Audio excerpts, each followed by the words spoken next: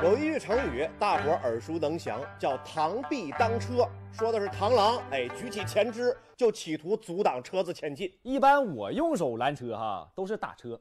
咱们沈阳有一位司机，人家不是用手拦车，是用车拦车，只不过他开的是小轿车，挡的呀，哼，不敢想象。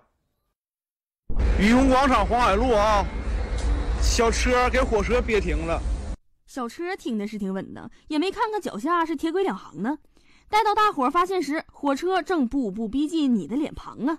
火车别停了啊！太霸道了。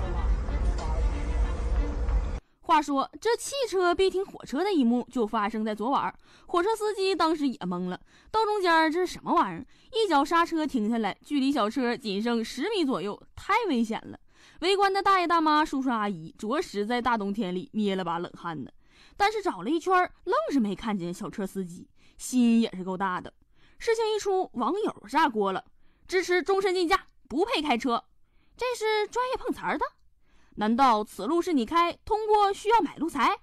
身手真高，都开始拦截火车了，哪天要堵飞机呢？应该先带着司机呀，去检查一下视力。驾照怎么到手的呀？这教练没教你上车下车都转圈看一眼吗？再说了，就单单看你停车那环境，旁边没有停车位不说，你没发现连车都没有吗？我现在吧就特别好奇，就想看看这司机究竟长什么样，是个什么样的人。